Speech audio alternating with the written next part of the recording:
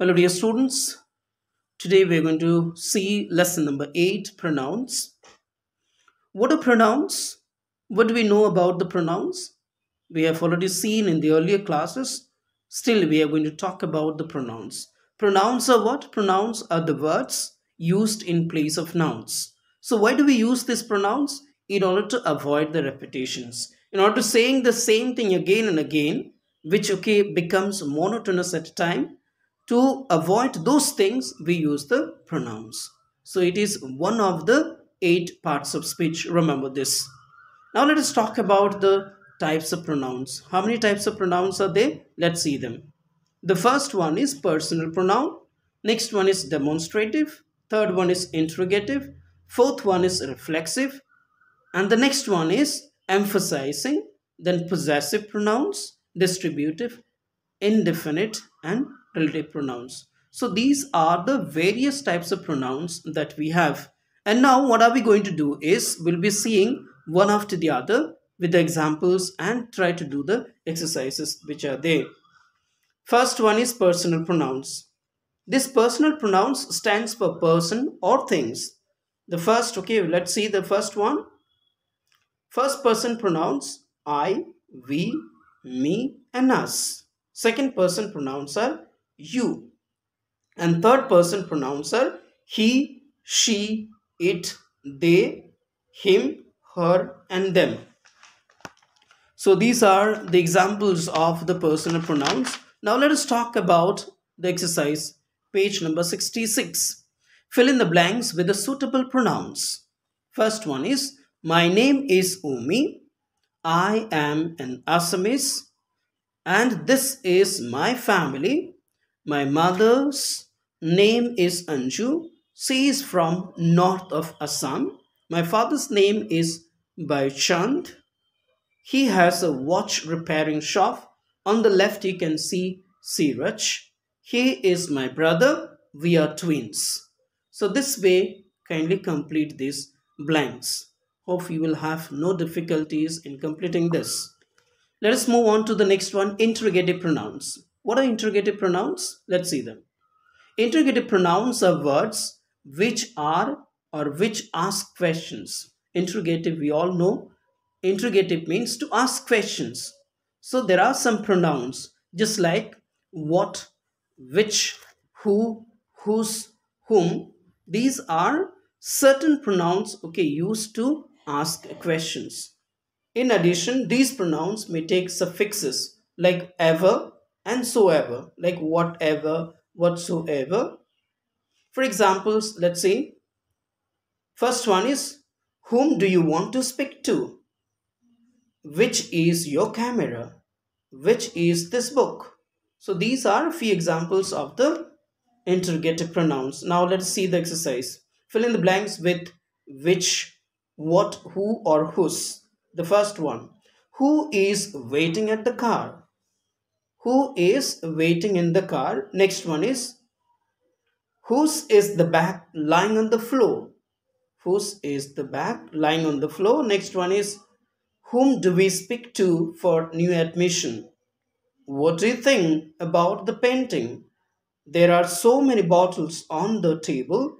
Which is yours? So these are various okay examples as well as the exercises okay uh, which are there at question number b i have just told you. Let's talk about the reflexive and emphasizing pronouns. Both these types have the same form. That means like i also like uh, reflexive and emphasizing are same pronouns. Okay same pronouns are used in both the cases. Let's talk about the first one. So i myself you become yourselves, you yourself, he himself, she becomes herself, it itself, we becomes ourself, and the last one is they become themselves. Let's talk about the reflexive pronouns right now. What are reflexive pronouns? It says reflexive pronouns are words which are used when the subject and the object are the same. So it says reflexive pronouns are used at the time when the subject and the object are same. Just like the examples it says, I got myself a new bag. He hurt himself while climbing the down climbing down the tree. So just remember whenever we talk about reflexive pronouns, it says when the action of the subject or when the action of the verb turns back onto the subject.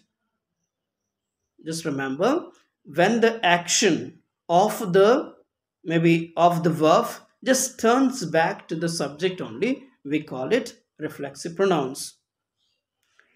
In other way, we can say it subject is acting upon itself only, either literally or figuratively. Just remember, subject is acting upon itself only. Enough to remember this. Let's move on to emphasizing pronouns.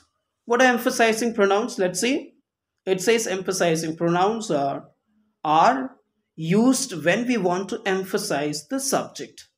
So when we want to emphasize, when we want to talk or give stress or to the importance to the sayings, no, that's the time we use the emphasizing pronouns.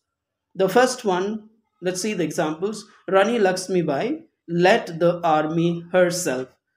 So she herself has led the army. The culprits themselves confessed to the crime.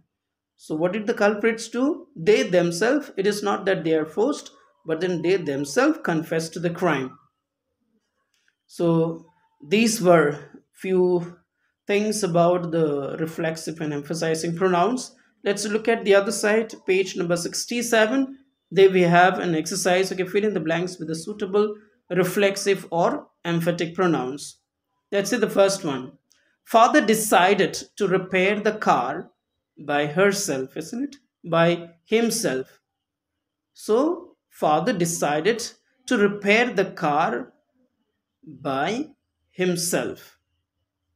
The girl looked at Das in the mirror. So the girl looked at herself in the mirror. So this is how you will just try to do this one. Okay. Uh, try to fill up the blanks with the reflexive and emphatic pronouns only. Let's talk about the possessive pronouns.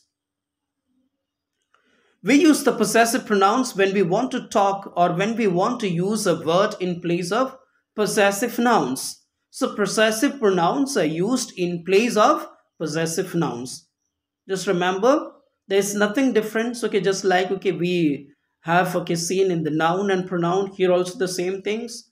So what do we do when we use, okay, when we use the possessive pronouns? When we want to use a word in place of possessive nouns only. So Possessive pronouns will replace the possessive nouns. Let's see, for example, this is Joe's umbrella. So this is his. I will give you my purse. I'll give you mine. Now let's talk uh, further about this one. Possessive pronouns and possessive adjectives which is given at page number 62.